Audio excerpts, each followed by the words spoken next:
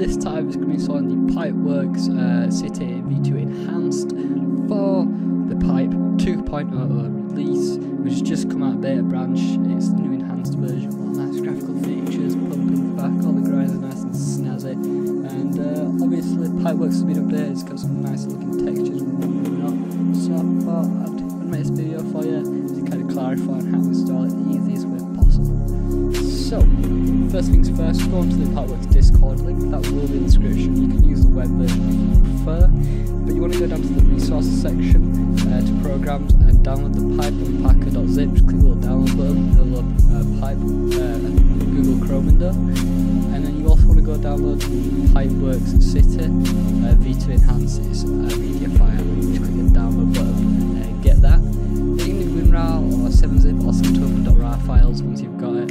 So once you've got two files on your desktop, you know, going to unpack the pipe unpacker. So just extract it so you got another folder, and you'll have these three things in here. And these need to go in your pipe directory. And to find your pipe directory, if you've got pipe on Steam, just open your Steam client, and uh, on your library where pipe is, um, scroll to where it is in the sidebar, right click on it, go to properties, and then go to local files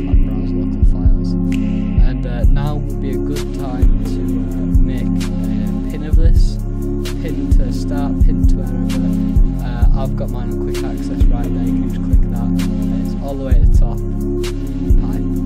So that's that's useful to have, there's a lot more tutorials on. Um, so once we're here, you can close all your Steam windows now. Just drag and drop these three files into the main game directory. And you want to double click unpack and delete because we don't need the uh, pipe data folder, this data.unity3d, we don't need this after it's unpacked. You can back it up if need be. Some people like to have um, backups of it. I don't care because I'd want my game break it, re-download it.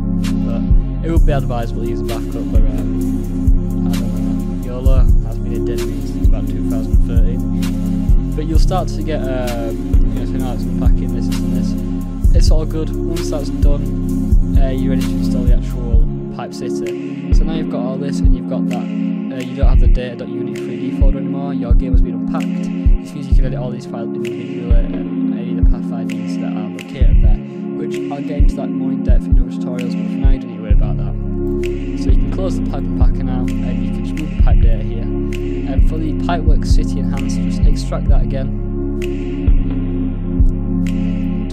So in this folder there's going to be a level 2 and a shared assets 2 folder. You've got your pipe data folder, you know where that is now. You just want to drag and drop the two files in. Replace.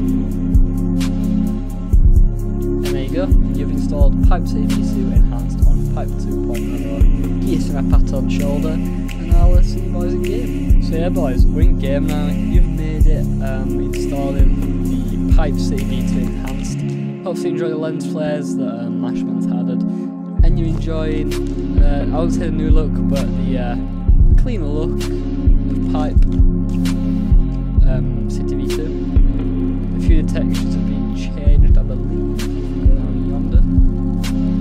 They just look better overall. My game looks super sharp because uh, I had reshaded solid. Ooh,